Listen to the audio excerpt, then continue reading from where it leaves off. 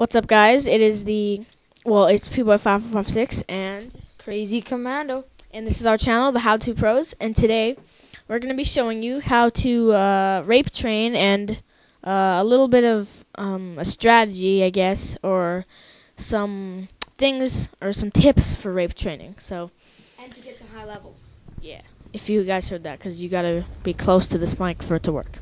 So yeah, um, basically, if you're wondering why uh, I started off in round 10, by the way, this is me playing, and Jesse will, or Crazy Commando and or Jesse, his real name, will will probably be playing, or will be playing split screen for the uh, secret natched Easter egg. Um, so hope you guys are looking forward to that. But anyway, uh, we started off in round 10 because, uh, you know, uh, quicker to get all the zombies together. So yeah.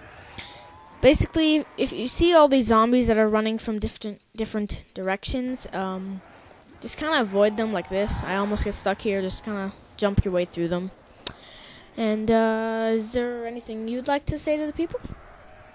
Don't get trapped. Like right here. Yeah, right there. Uh, if that ever kind of happens to you, and they all trying to, they're all trying to fuck you up. Uh, just try to bring them all into one area and then run around them. So that's usually the best way to do it. But as you guys see here, we got ourselves a rape train. Ourselves a rape train. Um, so at this point, maybe if you want to, you can hit the box, run around the map again, and pick up your gun after.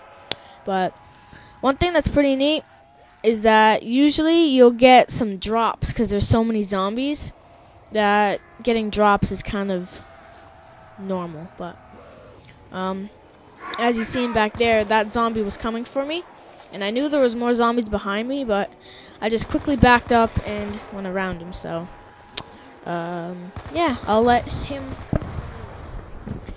And if you're like really low on ammo and you have and you still have your grenades left, all you need to do is turn around and you have a big bunch of them.